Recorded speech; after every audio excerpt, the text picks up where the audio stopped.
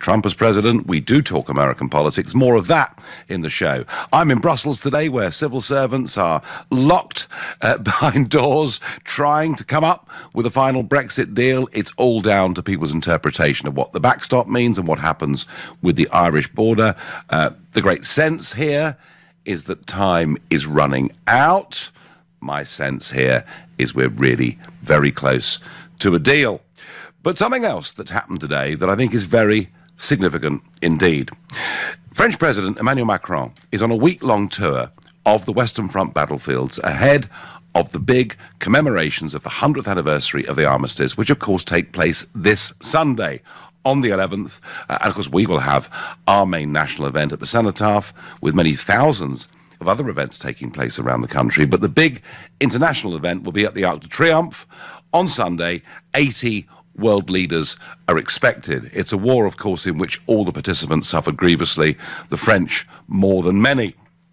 And today, Macron was at, I think, the single most significant place for France in that war, Verdun the very name of that town had a huge psychological impact on France for many, many decades to come. It's a battle that begins in February 1916 with the German leader Falkenhayn saying, We will bleed France white, an attritional battle. It got so bad and so serious that the British prematurely, they really weren't ready, launched the Battle of the Somme in July of that year to relieve the pressure. The battle went on until November. You can go and visit uh, Verdun today, and you can see uh, just square mile after square mile of shell pot ground, uh, six villages that were literally destroyed to nothing and never rebuilt, uh, vast cemeteries, and at the center of it all, a huge ossuary in which there are the bones of 120,000 dead soldiers organized in piles by body parts. And if you've got the stomach for it, you can look through the windows and see it. And it was at Verdun in 1984 where the president of France at the time, Mitterrand, and Chancellor Kohl of Germany stood and held hands in front of the ossuary, and they said, From this, we move on to a united Europe.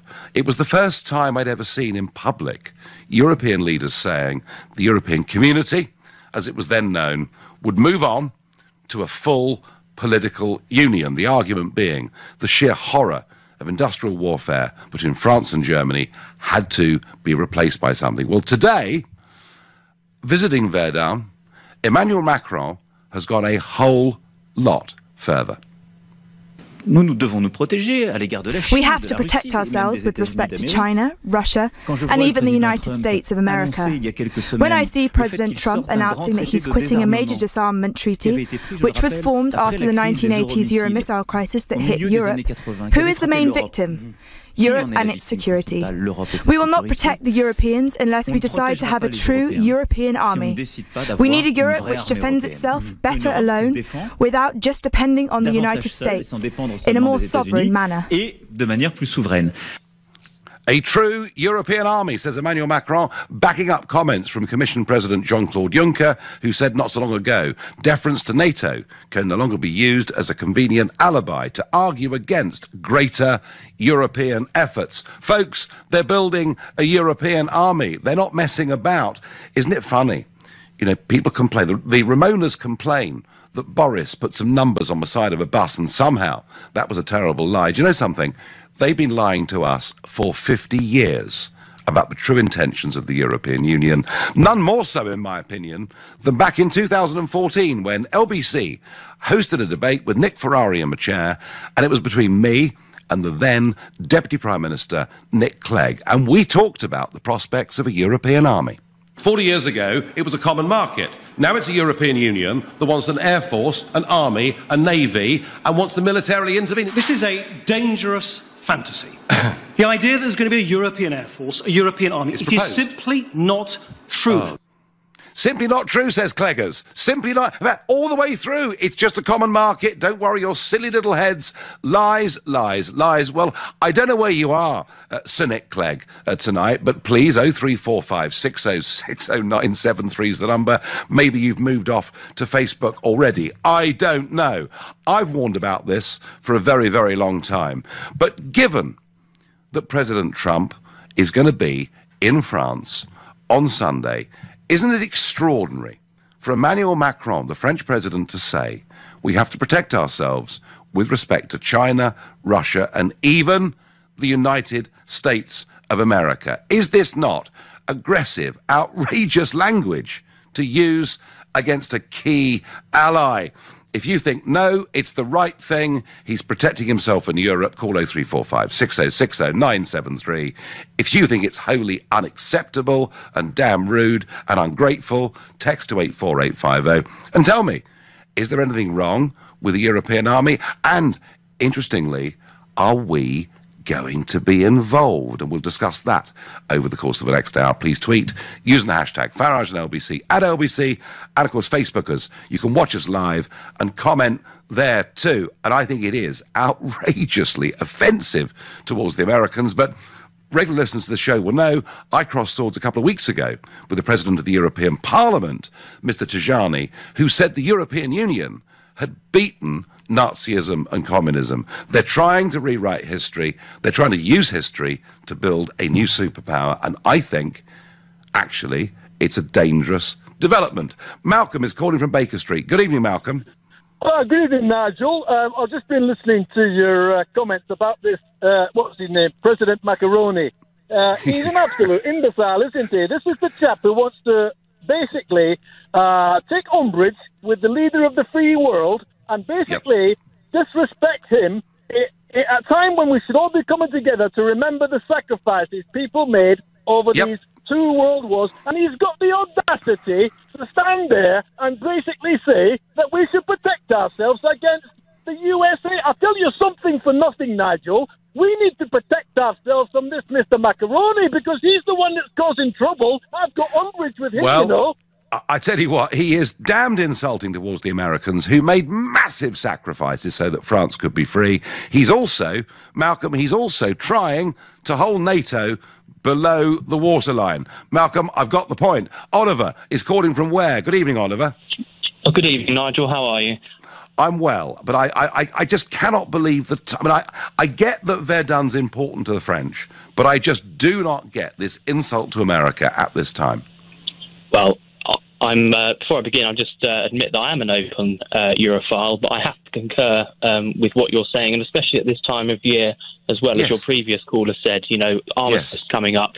I yes. think um, Emmanuel Macron uh, doesn't seem to be very well versed in um, the principle of realpolitik or indeed uh, geopolitical um, studies because the EU and EU leaders should really be leading, you know, by example. And his comments today, the connotations of isolationism and violence, it fosters um, rather negative um, thoughts. And whatever your opinion on Donald Trump, you need to remember, and Europe needs to remember, that it was the United States of America that really rebuilt um, Europe, and to now come out well, with absolutely. this, absolutely, this violent, yeah, absolutely, violent rhetoric. Really, I think you know, of course, you can have differences with various leaders, but to suggest that Europe now becomes some sort of insular um, you know, nation state, uh, sorry, supranational um, state, I, I, think is disappointing, especially yeah. you know, as we see that and, international diplomacy is collapsing in certain parts of the world. And, the European and, Union should be And he says, Oliver, he says we need a Europe which defends itself better alone without just depending on the USA in a more sovereign manner. So he's transferring sovereignty from the nation state to the EU level, but he's basically trying to get rid of NATO. It's a pretty stupid thing to do, Oliver, isn't it? You know, obviously, if you look at, you know, America is the biggest um, contributor to the budget. Big and time. I think, you know, the, the whole um, idea, the whole ethos of the European Union was to foster a spirit of cooperation. And Emmanuel Macron's comments today kind of subvert that very. Yeah, well, principle. you see, you see, Oliver, I've been saying now, um, people haven't listened to me, obviously, but I've been saying for over a decade there is a new nationalism. It's EU nationalism, and it's very worrying and very dangerous. Oliver, great call. Thank you. David in Romford is a new caller to the show. David, what do you make of Macron's comments? I sound quite rational, if you ask me. Right, so insulting the Americans just a few days ahead of President Trump going going to the Arc de Triomphe is rational. Um, Nigel, why do you always overinflate everything? How has he insulted the Americans? He said the United States of America could pose a threat to Europe. Well, of course they could. But they're our main ally in NATO. Yeah, that's what I'm trying to say. Trump himself has been trying to downplay NATO and wants Europe to look after themselves anyway. No, no, no wrong. Wrong. David, you're wrong. Trump has said he wants other members of NATO to pay the 2% membership fee and then he'll be happy with it. The trouble is, of 28 members, only six are currently paying their way. Yeah, yeah, but also, Nigel, you have to be able to read between the lines. Do we not have a great, massive, great aircraft carrier that we can't even put fighter planes on? Well, that's because it might help if the rest of Europe helped us to put planes on that aircraft well, carrier, wouldn't it? Well, it might help us, David, if we had a British government that actually believed in defence. But uh, yeah, I mean, but David, you about that. David, do you believe? Let let me ask you: Do you believe that the development of a European army is the right way to go? Of course it is. Do you want a, you want a war with Europe? We just want a little island on the side of the mainland. David, I take a different view, but you've made the argument for a European army. Thank you. Uh, and Richard in Chelsea asks me if there is a European military strike force, what's the chain of command and the rules of engagement? All I can say to that, Richard, I hope it's not Jean Claude Juncker after a good lunch. You're listening to the Nigel Farage Show here on LBC. It's 6.15. I said it for years. They're going to build a European army. They all laughed at me. Clegg said it was a dangerous fantasy, but hey, it's out there. Juncker's been hinting, and today, President Macron has made it clear that they are going to build, they must build, a true European army to counter threats that include the United States of America, and in so doing, willfully, in my view, trying to hold NATO below the waterline. But it's okay, Brexiteers, because our Prime Minister tells us that Brexit means Brexit. So presumably, we are not a part of this. We are in for a shock because under permanent structured cooperation known as PESCO, which legislation was put in place for back in 2009, and it was activated in 2017. That's after the Brexit referendum. We are a part of it. British forces are a part of it. In fact, 3rd Battalion, the Parachute Regiment, landed uh, in Eastern Europe not so long ago wearing European Union flags on their sleeves. There is so little debate about this, but there needs to be. Why? Because I see a European Union that is militarizing. I see a European Union without proper democratic control and scrutiny. I see a European Union that is expansionist and a European Union that is fanatical. Far from stopping wars, which was the thinking after Verdun and World War II and all of those things. These people really worry me. Stuart says, What a thing to say to the USA. No doubt all part of a plan to get some harsh words in response from McDonald. Then they will claim we've got to have an army. Well, Stuart, uh, Donald's quite busy today with the midterms. I cannot imagine that Trump will go to France on Sunday and not comment in some way on Macron's comments. Gary says the US are our closest allies and Macron is a disgrace. Alison feels the same on Facebook. It's a disgrace. The USA should remind them of the sacrifices Americans made when it wasn't really their problem. And isn't that the point, Alison? I mean, you know, World War One, those doughboys coming across the Atlantic to help Europe. They didn't need to. James is a new caller from Camden. Good evening, James. Good evening, Nigel. I, I hear your sentiments. I say a third way we need a very strong Europe with a strong um, American ally.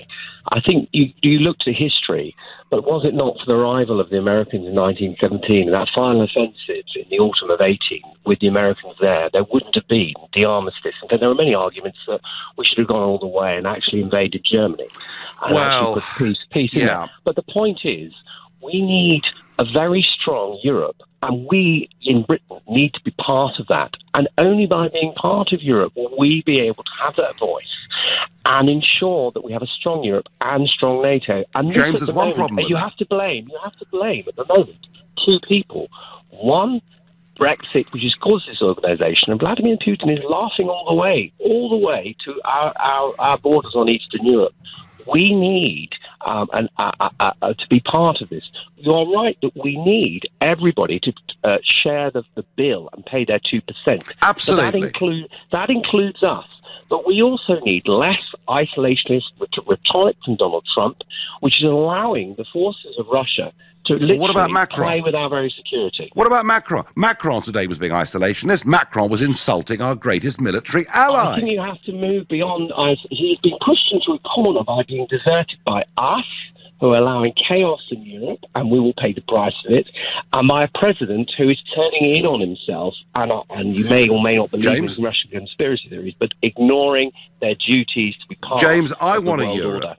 Look, I want a Europe that cooperates together, right?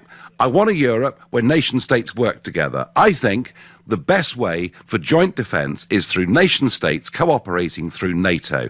I see a European army as potentially being a very dangerous thing with or without us. Do you see why? I mean, when I, I keep hearing here in Brussels, they want to expand to the east. They want, it is an empire here. Barroso, the former commission boss, called it that. What is wrong, James, with nation states cooperating under the NATO structure? I, am not saying there's anything wrong with it. I'm just pointing out, Nigel, the reason we're here is because we have deserted Europe when no, no, no, no, James, no, James. Look, look, look, no, come on.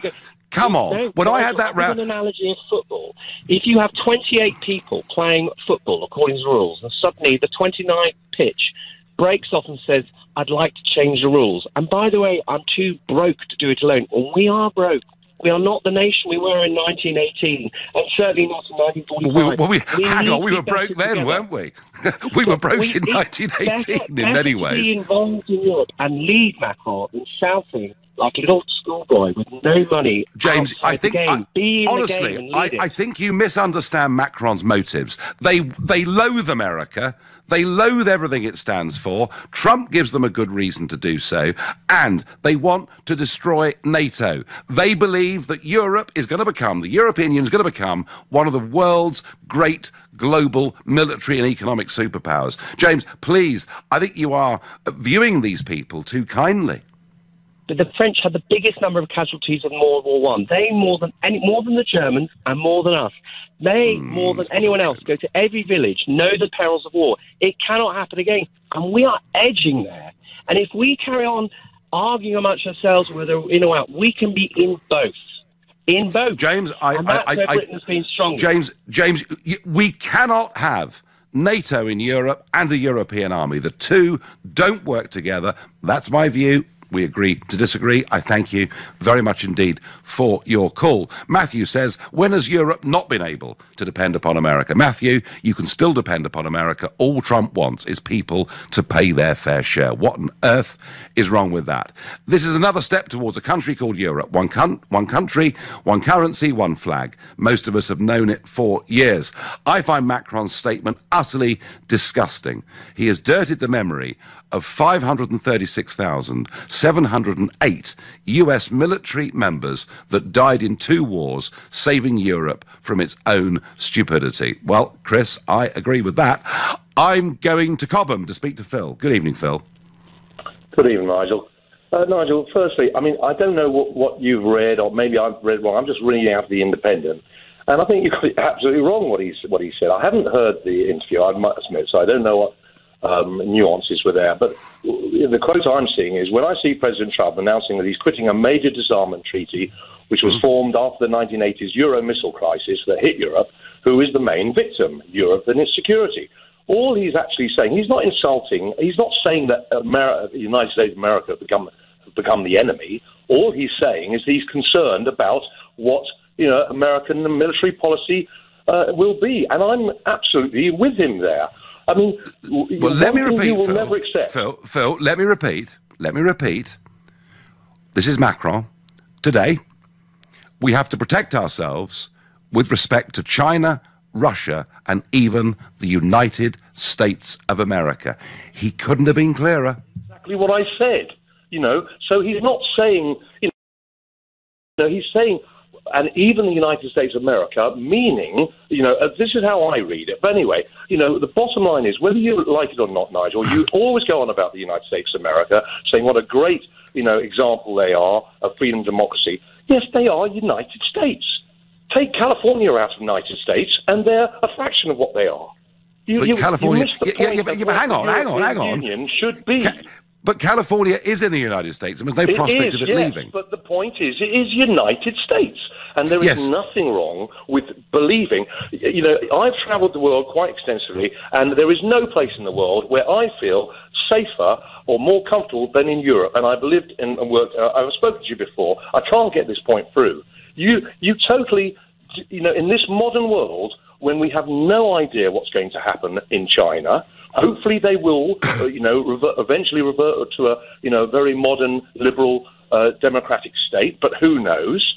There, we've got a rising empire in China and a declining empire in America. no person alive can remember America being other, any other than number one. Well, I tell you what, American Phil. Psyche, I tell you what, Phil. American if psyche, we face, Nigel, does not accept anything if, other than if, number if one. If we were to face a great military threat, I would ask you, Phil, who would you rather was on our side, Trump? NATO and the Americans, or Mr. Juncker and his European army? Well, I've got to be honest, Nigel. Are you going about Trump? I think he's the most dangerous thing that's ever, ever happened to the Western world as leader of the Western world. So I've got no problem with, with that. So I the man that is what that guy believes. You, you know, we, I'm we had the warmonger Obama, we had the warmonger Clinton, we had the warmonger Bush, we have Okay, President Nigel, Trump who you're gets the North Koreans. this. To the table. These, you know, and I'm sorry. Oh, come on, you are Nigel. I'm sorry. You you, you jest Yeah. when you go on like this.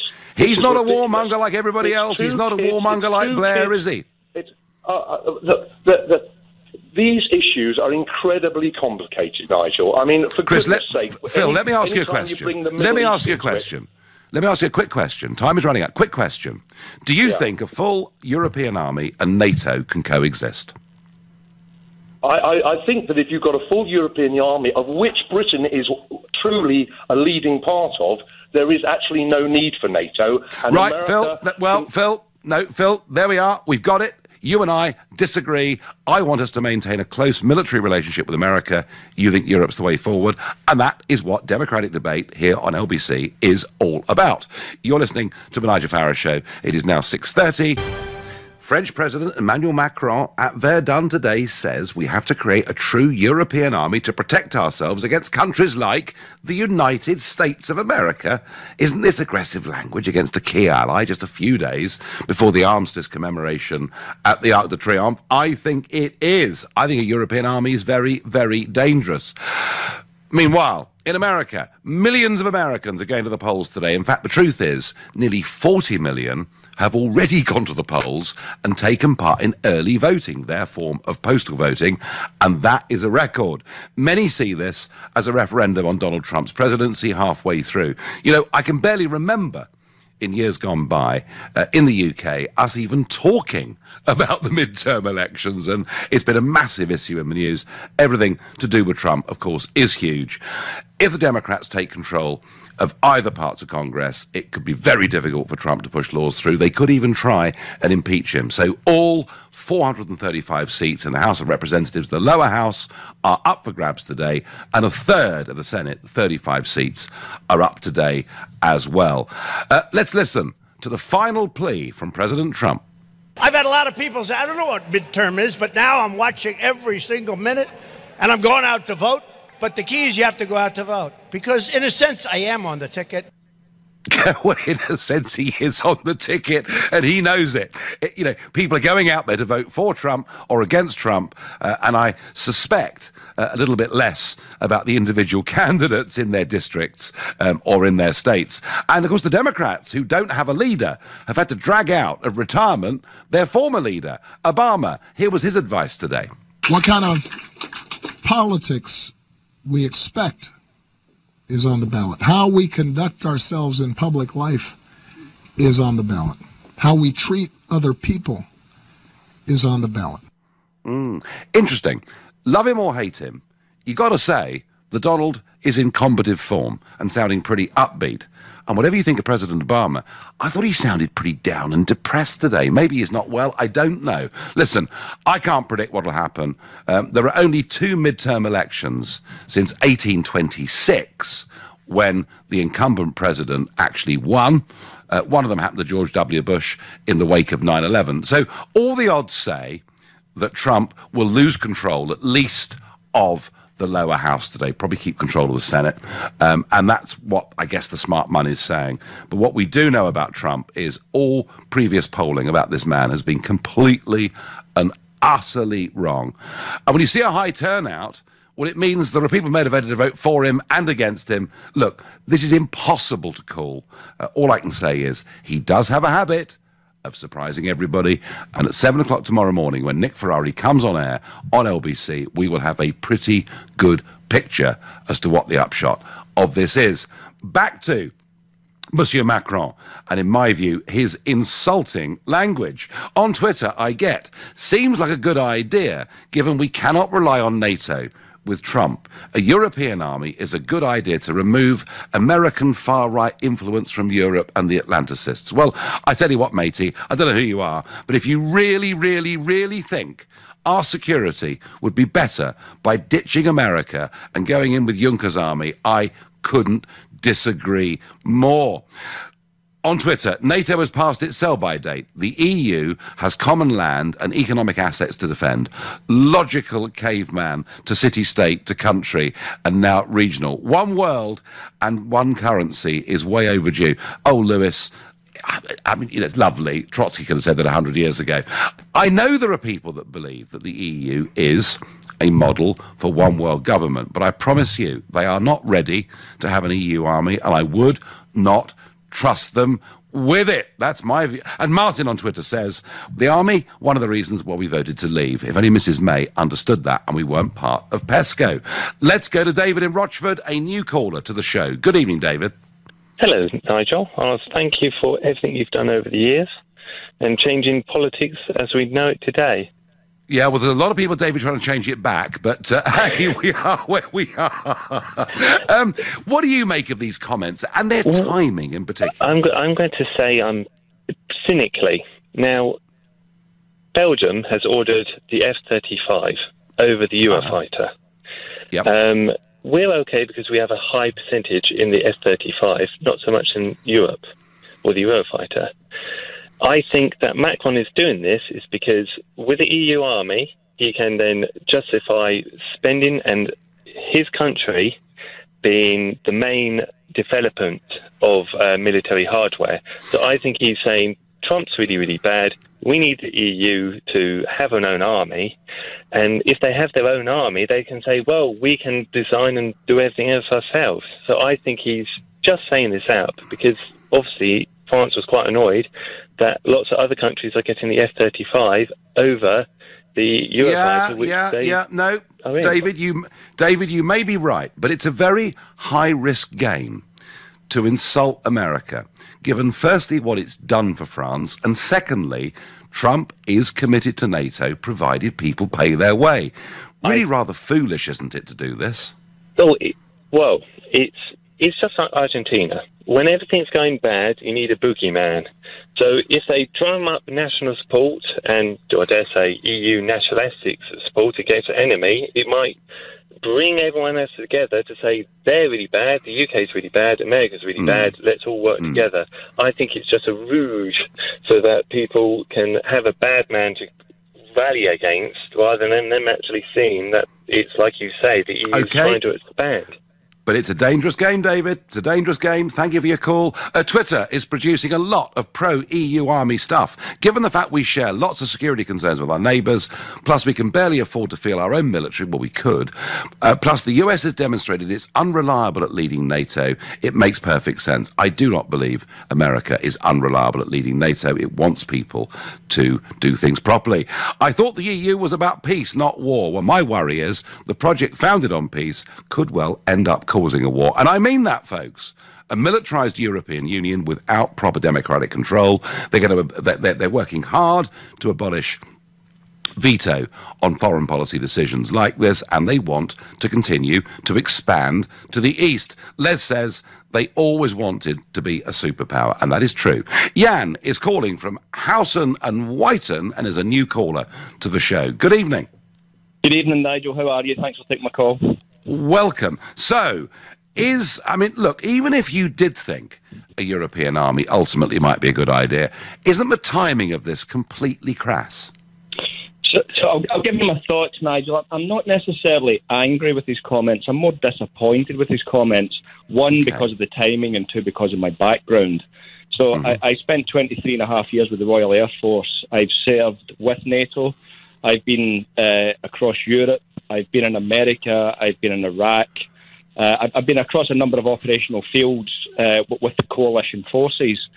I, I, see the value and the benefits of having what may be regarded as a special relationship uh, with, with America, but equally I see the benefits that it brings of having that coalition. What, what yeah. I find disappointing is, is that I seem to think that Macron has forgot the roots of, of how that coalition has managed to maintain Europe as the free sort of democratic state that it is. Forget about the, the actual European Union, but just the fact of how it now exists, given that coalition supporting uh, an effort to, to, to take away what happened in the First World War and the Second World War. So the, the, the timing, I think, one, it's insulting, and two, it's extremely disappointing from uh, f- from a leader who is who is becoming more and more prominent uh, as an EU voice. Yes, I mean, he is trying to become the great, big, strong pro EU voice, but uh, the truth of it, Jan, is, of course, his own popularity is collapsing in France. Um, and I, you know, there's still, amongst the peoples of Europe, a lot of sympathy and support for America because of because of history and because of culture today. You know, what do our kids watch? They watch American TV. I, I, I think he I, I, think he's done himself great harm with this. Jan, can I ask you, as somebody with nearly quarter of a century's service, what does this Sunday mean to you? It's huge. It's it's it's enormous. It's it's about it, for me. It's about reflection. It's about reflection yeah. on the sacrifices that were made by those, you know, a, a century ago. It's reflection on on the people in today's current operational fields who are making those sacrifices towards their family. It, it, it's enormous. Everybody is uh, inextricably bound by bound by essentially taking taking pain away, take, taking pain out of the world. It, it's about a but day of remembrance. It, I suspect you it know, means a bit. I, I guess, I it guess, must it must mean more to you, Jan, than it means to others that haven't served. It does, but then again, I would start to, uh, you know, I, I, don't want to Im- impose my inner thoughts on that, Nigel. I, I guess when, when, we look at what's happening uh, coming up in, in, in, the next four months, uh, I guess the bit that perhaps disappoints me is, is, we're talking about trying to maintain a relationship, about how we, after Brexit, how we maintain that, that cohesion yeah. between the United Kingdom and the EU. And yet, comments mm. like this, in my in, in my humble opinion, yep. serves to be nothing yep. more than divisive. And I don't see how that can be any benefit going forward. Jan, great call. Thank you very much indeed. You're listening to the Nigel Farage Show here on LBC. It's 6.45 and when Nick Clegg was Deputy Prime Minister, he told us it was not going to happen. It was a dangerous fantasy. But hey, today the French President Emmanuel Macron says we've got to build a true European army because we've got to protect ourselves against countries like the United States of America. What an insult and what a worry this is for those that believe in cooperation with America and others in NATO. On Twitter, Matthew asks me, I wonder who Macron thinks should be in charge of this EU army. Don't know. Who do you think you were kidding, Monsieur Macron? Let's go to Maidenhead and speak to Mark, another new caller to the show. Good evening, Mark. Good evening. How are you? I'm well. I just think these comments are very, very badly timed and deeply insulting to the USA, Mark. Well, you know, Macron's playing to his home audience in France. You know, they want to see a strong France. They believe they still run Europe. So I'm not surprised by his comments. Do they really still believe that, do you think? Oh, yeah, definitely. I spend quite a bit of time in France, and yeah, definitely. Mm, interesting. But why do it, Mark? You know, I mean, you know, the Arc de Triomphe is going to be the global centre of remembrance of this remarkable event uh, that took place 100 years ago on Sunday, with 80 global leaders coming. Why do it now? Uh, it's just, I think, literally, I think he's just trying to show that strong France and he's a strong leader. He's very, as you pointed out earlier, he's very much down in the polls. He is. Uh, yes, people don't yes. believe him. They don't want him. Um, you know, most pre- French presidents have a disaster two years in, and he's just facing it. And so he thinks, oh, I'm going to do this. We'll have okay, a European well, army. Okay, well, you may be right. Although, Mark, I sense that, you know, French people are just about as Eurosceptic as many British people, but so it may work and it may not work. Mark, how, how do you think strategically? Uh, does a European army make sense to you? Well, my thought was that, well, what happens if, uh, thinking about the US, what happens if there's dispute within Europe? Is it possible for the EU army to march into a European country because they have a dispute wow. with the EU? Could they declare martial law in well, Hungary or Poland? Well, well, they've already taken away voting rights from Poland um, and from Hungary. And uh, who's to say what they may do in the future, Mark? Yeah, especially when you look at the history of the U.S. I mean, the commander in chief and uh, in, in, the USA, he was always sending in the army in the race riots during the 60s. So there was always sending in the National Guard and yeah. all of that, which yeah. we could see that happen in Europe. Well, I think if you, I mean, generally it's a rule, isn't it? If you give government power, they tend to use it. So it's a further reason I agree with you for not building a European army. And do you think NATO works still, Mark, or not? Of course it works. It's been working ever since the end of the war. There's nothing wrong. It's a classic. If it ain't broke, don't fix it. It's working fine. Yeah. Yeah, yeah. No, okay, Mark, thank you. And Mark making the point. If they get a European army, they are likely to use it. Um, I get by text. Would they be saying this if Trump wasn't in power? He isn't going to be there forever. Mary, they really can't stand Trump, but believe you me, from my first week in this building, 20 years ago nearly, uh, I know the EU loathes America. And they want to build, Giscard and others have told me this, they want the EU to become a global superpower that is bigger and stronger than the USA. And again, I think history gives some really strong lessons here that when you get emerging states that want to be big and powerful, they tend in the end to become very, very dangerous. Lulu on Twitter says NATO is a peacekeeping force, a European army would be the opposite, an aggressive force. We don't know that for certain, Lulu, but it certainly could be. Claire is calling from Ashford and is a new caller to the show. Good evening, Claire. Hi, Nigel. Thanks for taking my call. Welcome. Um, so, so, what do you? So, it, wasn't he being rather rude today?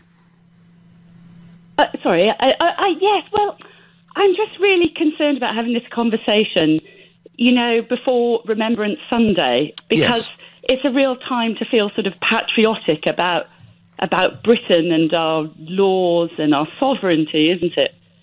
Well, I would have thought so, Claire. And I, I think also it's a time to reflect on huge sacrifices that our forebears made so that not just us, but the rest of Europe could live in freedom. Exactly. And so that's exactly what I've been thinking about because it's so important British laws, British sovereignty. And that's why I've been so disturbed by these news reports about the the money being which was spent in the campaign and they're not knowing with Arron Banks where it's come from. And I wondered what you thought well, about. Well, I'm not discussing the referendum right here and now, Claire, but I'm very worried. I'm very worried about massive overspending by the government and many others in the campaign. Uh, Didier is calling from Wokingham. Hi, Didier. Very good evening to you, Nigel. Thanks for having me online. Uh, now, I'm guessing, I'm guessing from the accent, Didier, that you may come from France. I am French. I've been living in the UK for 15 years. Yep. Uh, for, uh, I came here for one month and never went back, and uh, right. I still haven't, haven't, gone back to France in in more than 10 years. And I will not, even then I will not go back um, in case they tax me. Uh, Is that so? You were a tax refugee, Didier, were you? Uh, yeah, well, not even. I was. I came here with uh, two thousand pounds. So you know, uh, okay, after divorce. So, but uh, right. you know, I was uh, more. I, I, am an EU refugee. Let's put it this way. okay, okay? Right. I may be the, uh, the biggest French Brexiteer in the UK. Uh, I'm, the, I'm, the, only one. Um, no, no, I no, Didier. I've met lots of French people living in the UK who think we're doing the right thing. But so come on, you're president of your erstwhile. Okay, not, not, only is not my president because I don't, I do not vote for crooks any longer. Right. I only vote in uh, in uh, UK elections and not in French ones. Number one. Okay. okay. Um, uh, Macron is a president in name only. Okay, uh, basically. Uh, both the EU and France import the world's misery. We, they export their talents. I am one of them, like many of the French people here in the UK. Okay, um, I did listen to what Macron said today in French, in my yep. mother tongue, yep. and it's more outrageous that you even mentioned, uh, oh, really? Nigel. I, I think you um, you should get a proper translator. Macron is uh, I don't want to be vulgar uh, on air.